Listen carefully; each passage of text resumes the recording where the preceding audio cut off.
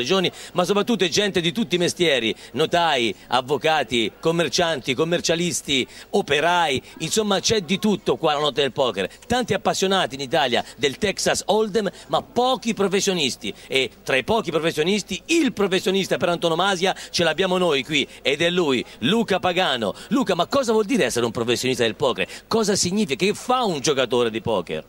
Fa una vitaccia, fa veramente una vitaccia, ci svegliamo sempre verso mezzogiorno, l'una, pranziamo, andiamo a lavorare, che vuol dire giocare 6-7 ore, e poi usciamo con gli amici. Quando non sappiamo cosa fare, prendiamo un aereo, andiamo a New York, andiamo a giocare a Las Vegas, passiamo le vacanze a Barcellona.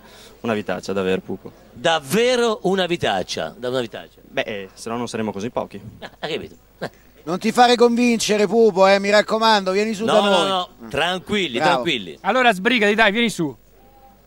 Sto arrivando, anzi, un attimo, che abbia inizio la notte del poker.